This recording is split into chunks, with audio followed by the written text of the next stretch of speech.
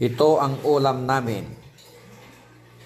Tilapyang prito, may laplapayag, may bulaklak ng kalabasa, at may tinatawag kaming alukon sa mga Ilocano. Ito ang perfect dinengdeng para sa amin na mga Ilocano. Eat tip.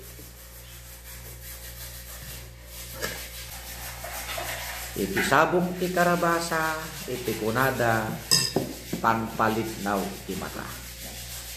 Ngem itatatalakay na kon, iti adda asawa kon, ti pangpalit naw iti mata, hanga karabasa. Warta.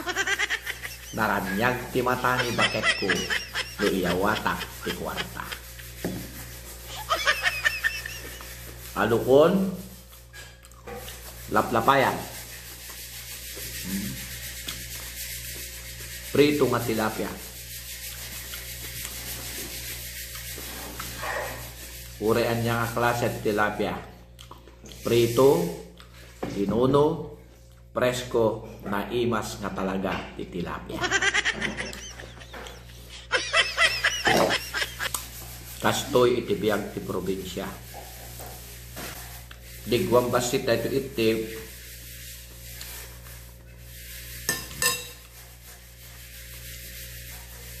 oh itip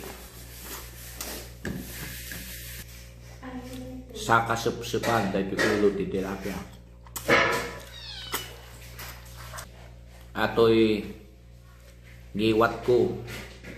Awan duman na dahil pagpabaywan iti bagas isubok nga buo.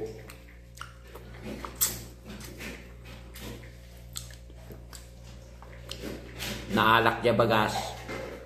Na isinan dya siit. Kas dya mo ti stoner nga makina. Ipam mo da dya bagay maisina dya bagas. Maisina dya bato. Kas dya tingiwat ko. Kas la stoner met brad. Hmm.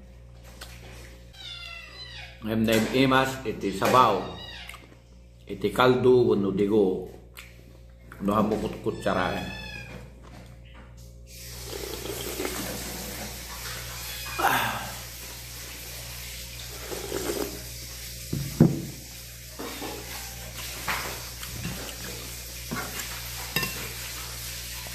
Again.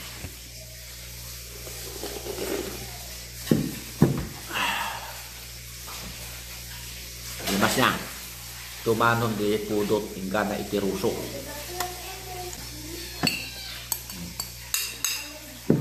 Iwanan.